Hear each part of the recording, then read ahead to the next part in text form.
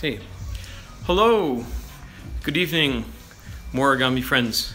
Uh, here we are at uh, Alpino, what's called Residencial Alpino? Uh, Monterrey, Nuevo Leon, uh, for our origami night after the origami convention, the Origami USA convention. Here we are with uh, Alejandro, Hey. Memo, and Victor. Please. And my phone fell, and I dropped my phone. That's okay. And there's and there, there's Victor. Okay, say hi, Victor. So um, after that little telephone incident, I uh, got back the other day. Well, all of us got back the other day. Memo, um, Alejandro, and I, and we are getting together for our usual weekly origami night. And I decided to go through all the goodies that I got at the convention, particularly the uh, the pins from the pin exchange and I thought I'd just uh, share that with you. So, let's see, lots of interesting pins. Uh, for the pin exchange, I made elephants, um, my own design of elephants. I don't have one here to show you because I give them all away. Uh, and I got all sorts of different colorful and interesting pins. So, where to start? Uh, let's see. We'll start with the smallest. The uh, the smallest is this one. It says, "Wishing you an excellent year of the rooster." And inside this little plastic egg, there is. Well, I can't get it open, but take my word for it. Inside there is a little rooster, a little origami rooster. So that's the the smallest pin that I got at the uh, at the convention. Let's see what else we got. Well, this is one uh, that's a uh, compass rose, and this design is by Ale. Yeah. Designed and folded by him. Uh, this is what he was trading at the convention, and uh, he has on the back you know, the information about that. That's a cool one. Um, Thanks. let's see. The most complex one that I got was this rose, Ooh. and this is the Who made those? I I, I don't know. You don't remember? Well, it was, it was a, I believe it was a, ja- a. Japanese woman, and she didn't put her name on it, and so I, I don't know uh, Wow. Who it was, but yes, it's beautiful. Me gusta very mucho. Me gusta. está padre, know? very beautiful, very detailed. Can I? Sure, here we go. Memo wants to look at it too. So, what else we have here? Uh, that was the most complicated. The perhaps the most unusual is a an origami corset, uh, which is well, it's different, and uh, so I guess I could probably use one because I'm getting a little chubby around the waist, and you know. At any rate, this is a uh, that's an origami corset. This is folded by Linda Music or Music or I'm sorry if I'm pronouncing your name wrong. It's cute. It's called Corset. YouTube Paper Kawaii. Oh, so she's on on YouTube. Paper Kawaii. So check her out on YouTube. Next, um, let's see. This is another cute one. This is a. It says on here somewhere. What is it? Uh, it is a Kokeshi doll. Kokeshi doll. This was folded by Patty Grodner, and she put her little card in here. Patty Grodner. Uh, I'm seeing this on uh, in mirror image. I hope that the people who are who are watching will be able to see this in the correct uh, orientation. So this is not a mirror image. So cute little Kokeshi doll. We also have, let's see. Um, oh, this is one that's very different. This I'll show it to you the way I got it.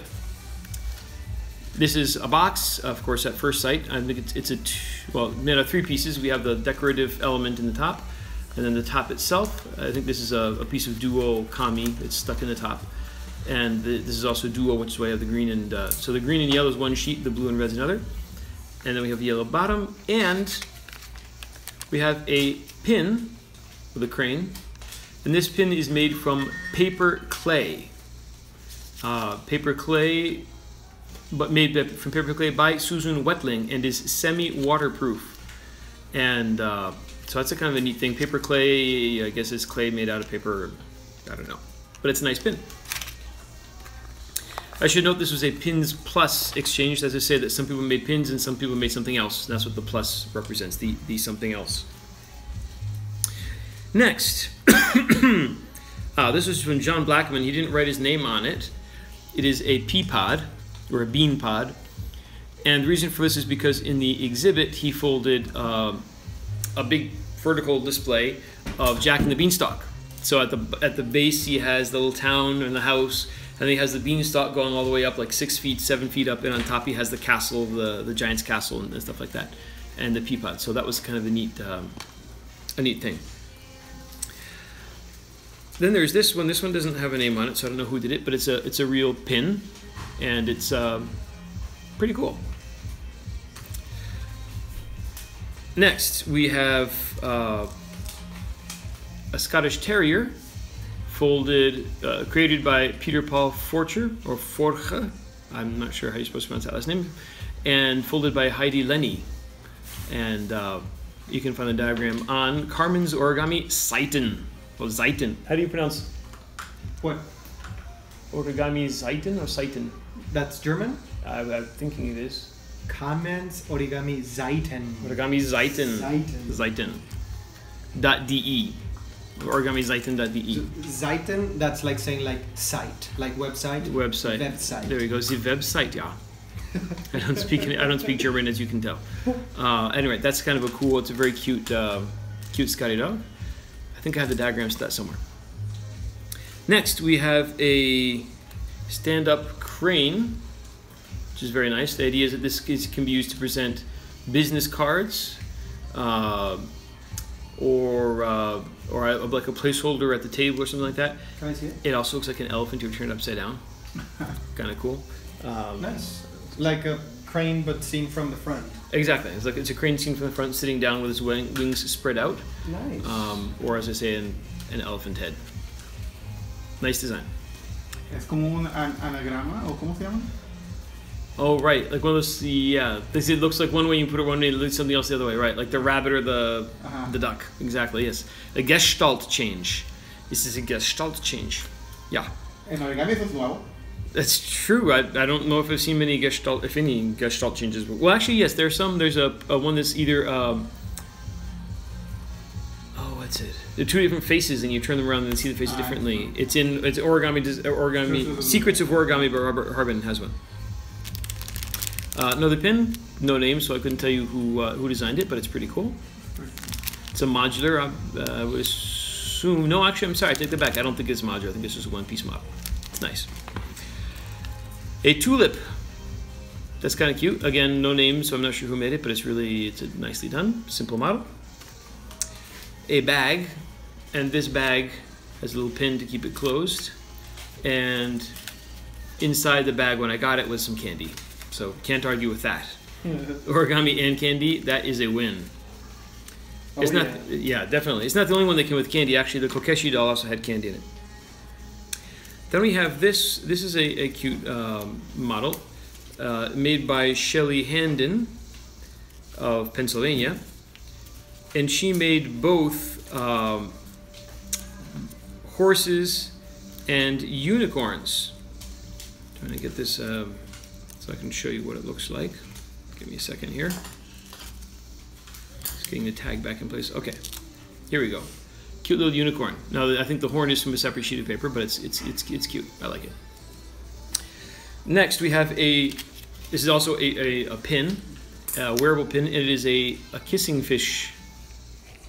Cute model, and this is it's called Kissy Fish, and it's folded by Enoch O'Shaughnessy. Nice little kissy fish.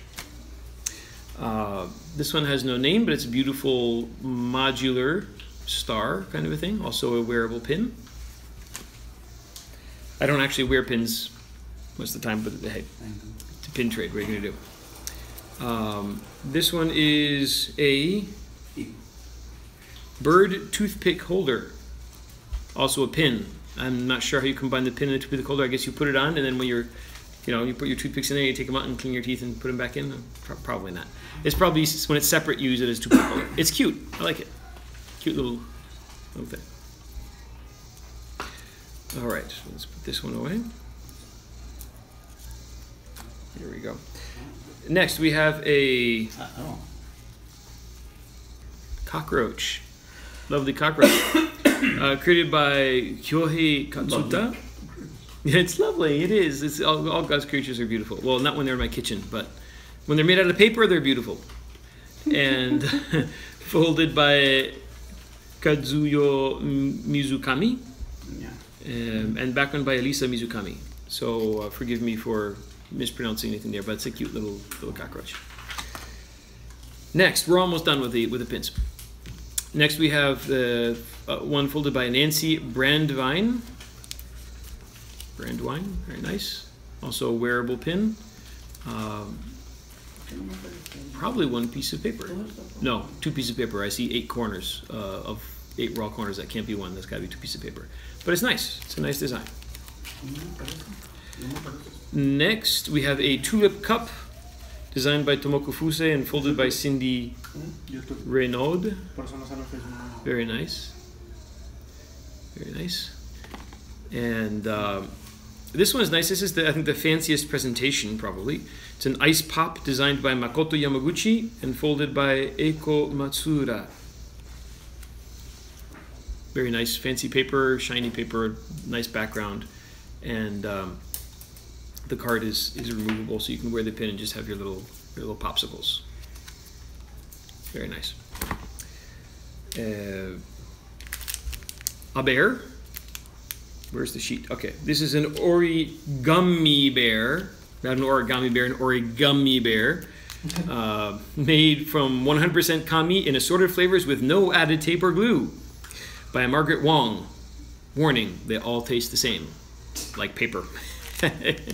it's a cute. It's an origami bear. I like it. Very cute. I'm gonna put that uh, label back in the bag so I don't forget it later on. Origami bear.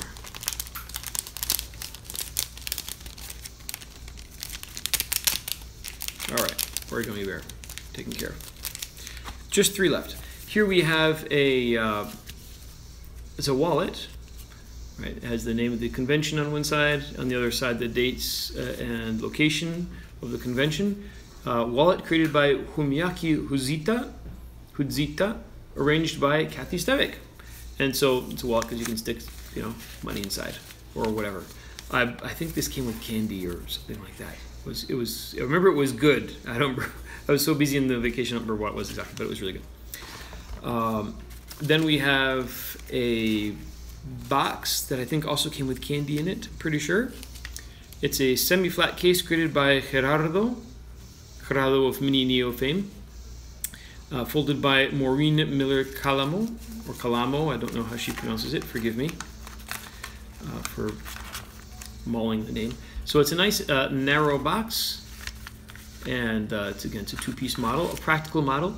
If you don't know Gerardo from Neo or, or Neo Origami, uh, he particularly folds practical models, and this is a very practical model. It's a nice box. Now the last thing that I want to show you is not actually a pin, and I didn't get the pin exchange, but it's similar in size, and uh, it's really cool, so I want to comment on it. Uh, so in this little plastic container, I have a crane. And this crane, this little cord, uh, was folded by Sue Duggan, a friend of mine, uh, and she took it with a, th- uh, a thousand cranes. I think she took more than a thousand to Hiroshima, and so she you know, gave the thousand cranes there, as, as people do, and took the ones that were extra and placed them under the monument at the, uh, under the bell that's there at the place where uh, where the bomb fell, and they have the you know a statue of um, of what's the girl's name? Uh, Thousand Cranes. Sadako Sasaki. Sadako Sasaki. There we go. Under the, the statue of Sadako uh, yeah, Sasaki. Sasaki, and rang the bell, the peace bell, and then she picked up the cranes again and brought them back and gave them to people. So she gave me this one. So this crane has been all the way to Hiroshima Wow. and back. So that's pretty cool, I think. Yeah. Thank you, Sue. All right, that's it for the uh, from pins from the pin exchange, and uh, I hope you thought that was interesting. I hope that you come to Origami USA next year and bring pins and trade. I look forward to it, and um, hope to trade with you next year. So from Morigami, signing off for now. Keep folding. See you soon.